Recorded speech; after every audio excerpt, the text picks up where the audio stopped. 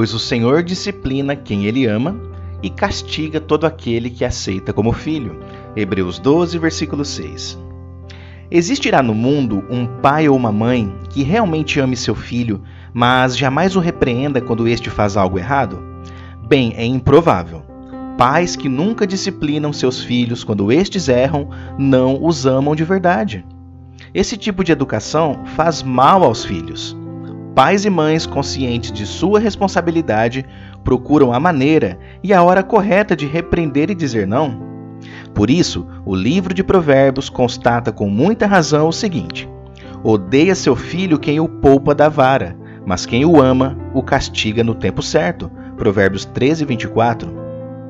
Na leitura bíblica de hoje, o escritor de Hebreus fala de como Deus age no papel de pai.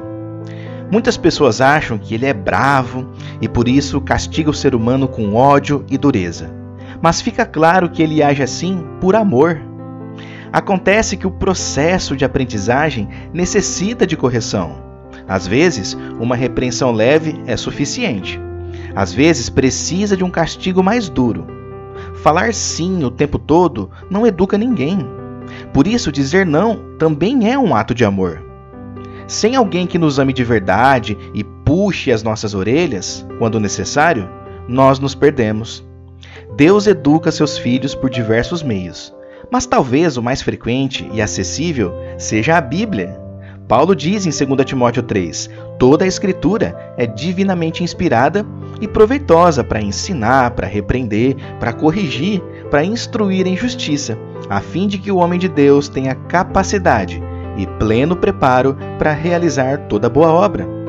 Ler a palavra de Deus nem sempre é agradável, pois aponta nossos erros sem rodeios. Mas por outro lado, ser alvo dessa disciplina prova que Deus nos considera seus filhos. Infelizmente, quem ignora, despreza ou até se rebela contra essa correção, deixa de aprender lições valiosas. Que tenhamos coragem de ler a Bíblia e aprender dela tudo o que ela tem para ensinar, para pensarmos, para falarmos e para agirmos cada vez mais da maneira que agrada a Deus, em obediência e tudo isso por amor a Ele. O pai disciplina porque ama seus filhos, e estes aprendem a obedecer porque amam o pai.